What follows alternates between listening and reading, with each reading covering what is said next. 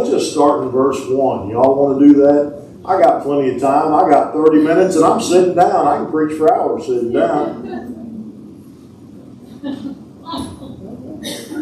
I am the true vine, and my Father is the husband. Every branch in me that beareth forth not fruit, he taketh away. And every branch that beareth forth fruit, he purges it, that it may bring forth more fruit.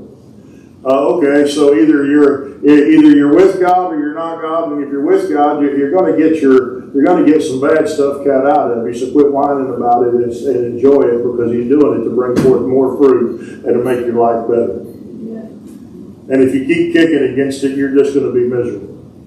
Y'all with me? Now you are clean through the word which I have spoken unto you. Abide in me, and I in you, as the branch cannot bear fruit of itself except it abide in the vine. No more can you except you abide in me. So I don't have to do nothing but stay connected to Jesus. If I stay connected up to Jesus and let Him work on me, I stay in a good place.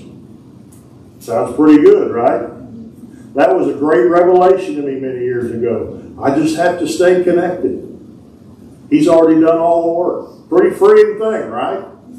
Just remember that as we move along. Big smile. We're going to come to something. I am the vine, you are the branches. He that abideth in me, and I in him, the same bringeth forth much fruit. For without me, you can do nothing.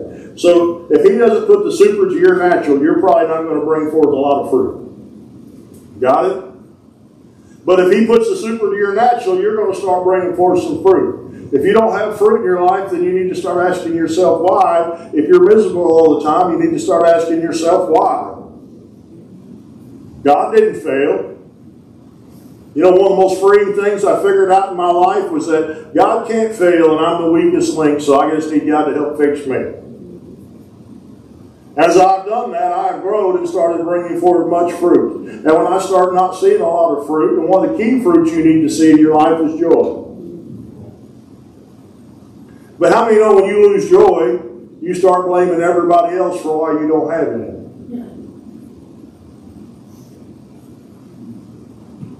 How many know God wants to make, make you a walking billboard of the goodness of God?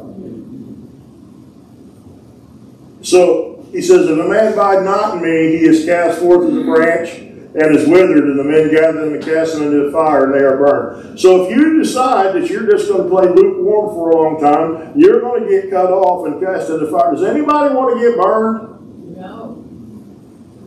This is red letters, and he's talking to church folk here that were once with him that, that, that refused to stay with him.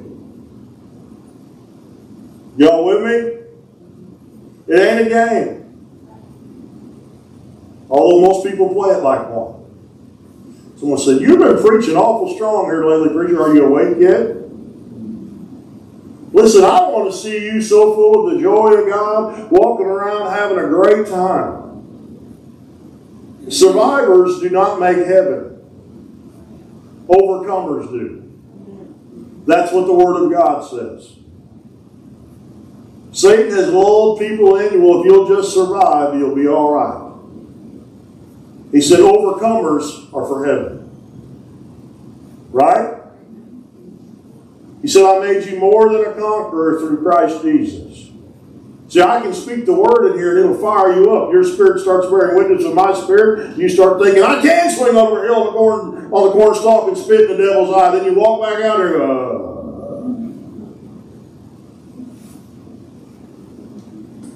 Come on. Y'all here? If you abide in me, so you have a choice if you stay connected in God. You understand that? He didn't notice the big if there. If you abide in me, and my word shall abide in you. So we have to put the word in daily, right?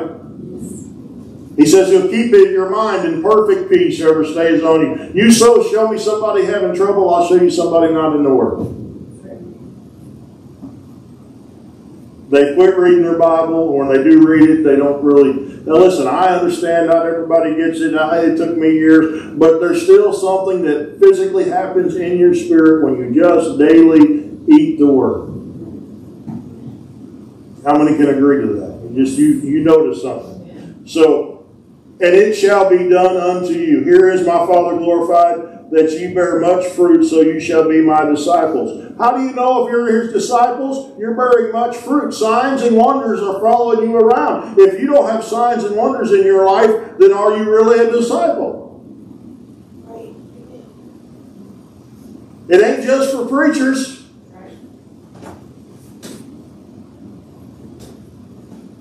Come on, I'm about to get to a key, though, that's going to help a lot of you. I'm setting you up, I know. But I'm also trying to wake you. Listen, aren't you tired of reading about it? Aren't you ready to experience it? Don't you want to be like like like Peter, silver and gold have I none, but what I have I give unto you. You know, I've had the pleasure of doing that and watching people's lives transform. There's nothing better than that. You know, the church wasn't made to pay people's light bills. They were made to teach people faith so they can pay their own light bills and pay other people's light bills.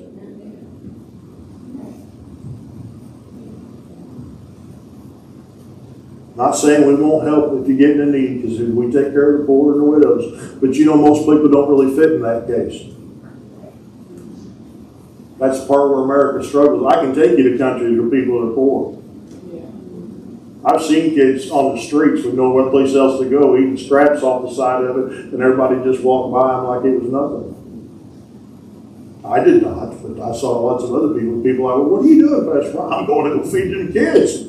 Well, they'll just scoundrel it away. Well, I don't care. They're kids.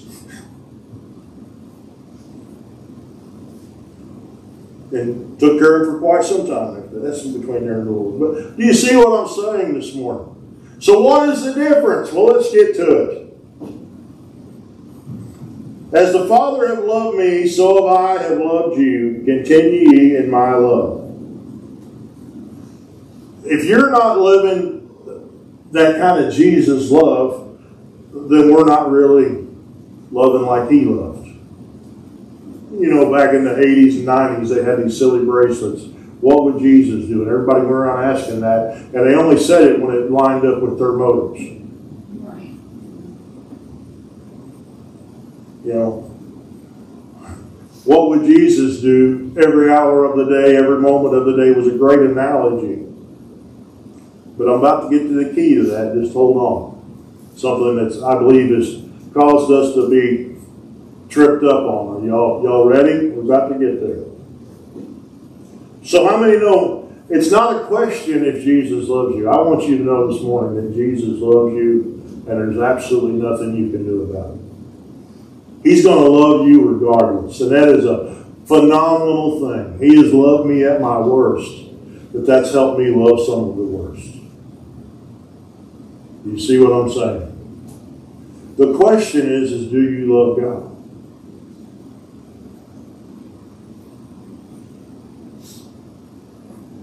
If you love Him, are you loving others like Him?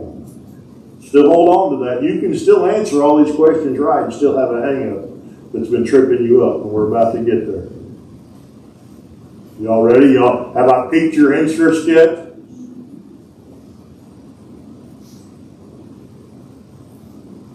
These things I've spoken unto you, that my joy might remain in you, and that your joy might get you by.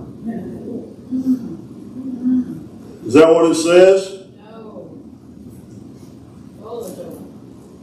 Full of joy. Ha ha ha. Woo! He's always happy. Well, not always, but I try to stay that way. I recognize when my joy meter gets low. That's what Romans 15, 13 is for. He said, when you recognize your joy meter is low, you come to Him and He'll fill you with all joy and peace through the power of the Holy Ghost. Get happy. Why, why are you happy? Because Jesus saved me. Amen. He loves me. Come on. That means I can love you. Even though you don't deserve it. Let's be honest, some of you.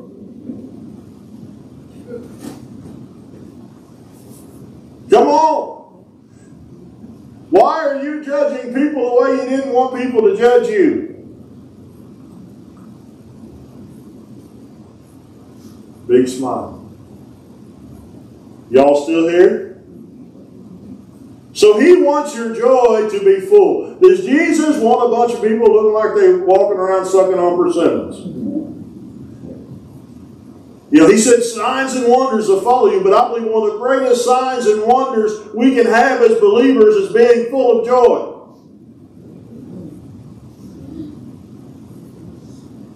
Ha ha ha ha.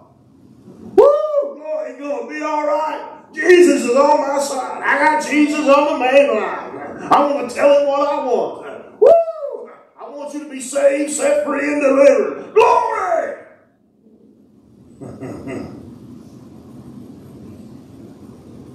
but if my love walk gets jacked up, I ain't no good to nobody. Because he judges the what? Intentions of my heart. And I, he's not stopping my joy. I'm letting something get in that's blocking my joy from being full. Because he wants my joy to be full. He made a way for my joy to be full. That's his utmost desire is for me to walk around full of joy. I posted something the other day. The Holy Ghost spoke to me, and I posted it so I could remember it. That was that's the reason why I post stuff sometimes anymore, so I can go back and catalog it.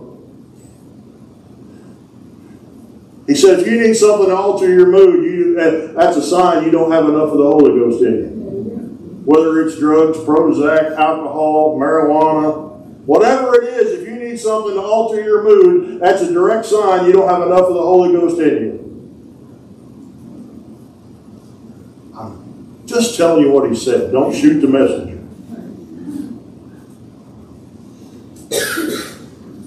So, this is my option I've given to all of the church. I'm just asking you to consider this request. Is that what it says?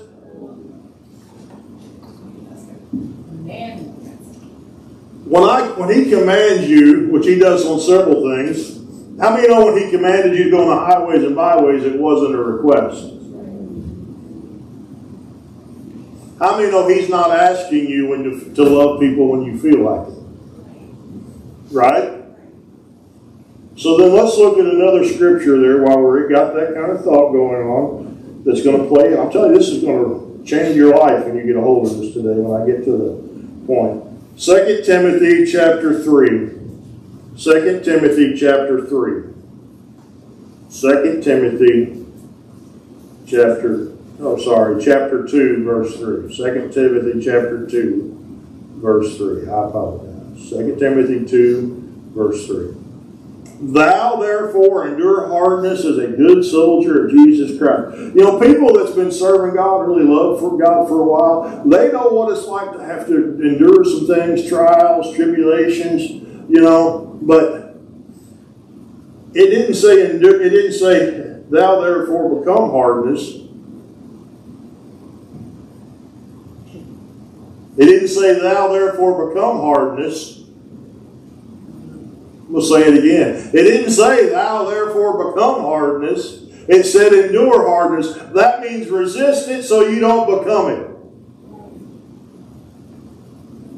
And the only way you can resist hardness is staying full of joy. But so many times we've just doubled down, double gritted, tried to force our way through it our own strength. I'm a good soldier. Bless God. You don't know what I've endured. oh, but your face does. wow. True. Come on, I'm preaching this morning. You know, he said, so we're going to endure some things, you know. And he said, No man that warreth entangle themselves with affairs of this life. If you start trying to fight uh, the things in this life in the flesh, you're going to lose. You've got to stay in the spirit realm. That he may please him who has chosen to be a soldier. For man also strive for master, yet he's not crowned except he strive lawfully. So we have to do line up with the word of God. We're going to have hard times. But if you lose your joy, if you lose your love walk, it's all for nothing. Right? Y'all with me? All right, let's continue on. We're about to get to the good stuff. I got 15 minutes left.